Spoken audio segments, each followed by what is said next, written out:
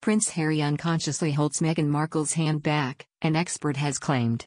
It has previously been revealed that the royal couple's hand holding is a genuine display of affection, and not for the cameras, with experts saying that this is clearly an important gesture for Meghan. Now, a royal expert has suggested that the Duke of Sussex unconsciously holds his wife's hand back, as the way he places his over hers says a lot about their power dynamic, report The Express. Speaking to Sunrise, body language expert Louise Mahler looked back at the time Meghan and Harry held hands while walking out of the Palace of Westminster following Queen Elizabeth II's coffin transfer from Buckingham Palace in September 2022.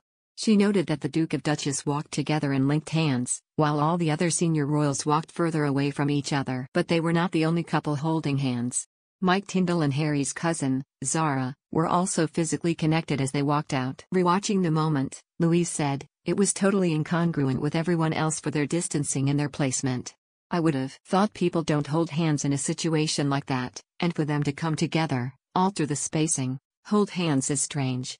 She then took a closer look at how Harry and Meghan held their hands, suggesting that Harry is again putting his hand over the top of Meghan's.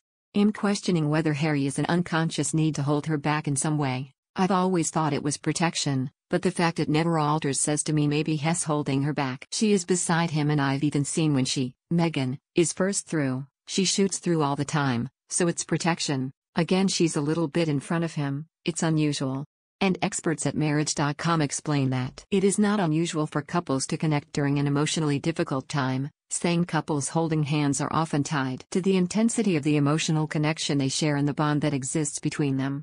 Touch is one of our most important senses, and it is in our biology to feel an increase in pleasure and decrease in anxiety and stress when touching another person, they added. It has also been noted that the Duke and Duchess's down, facing palm way to hold hands is important in showing the world how they operate as a couple. Experts say this hand, hold can tell us more about the power dynamic in the relationships, with the person whose hand is on top, palm facing down, is the more dominant one.